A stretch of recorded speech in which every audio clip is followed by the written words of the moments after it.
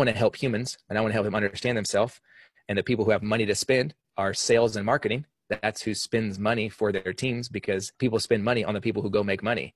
Yeah. Not that HRs don't have great conferences, but they don't have a ton of them. And the ones they do have aren't that great, at least in my experience. Why?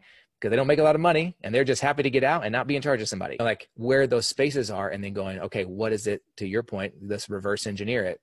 What is sales and marketing looking for? They want to make more money. They want their people to be effective. They want them to be efficient. And the data would show that most people in corporate America do not feel effective, efficient, or appreciated. Great. So then the message I came up with is I want to spend the perfect amount of quality and quantity amount of time with your people.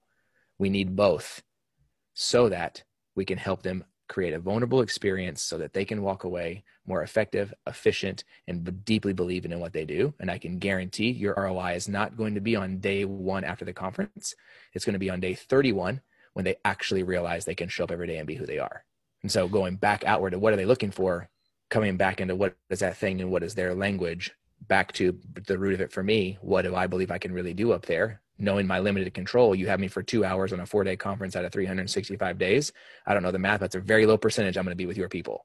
What is it can I do? Can I instill foundationally though that gives them the ability to come back to that space? Idea that it's fruitful for a long period of time.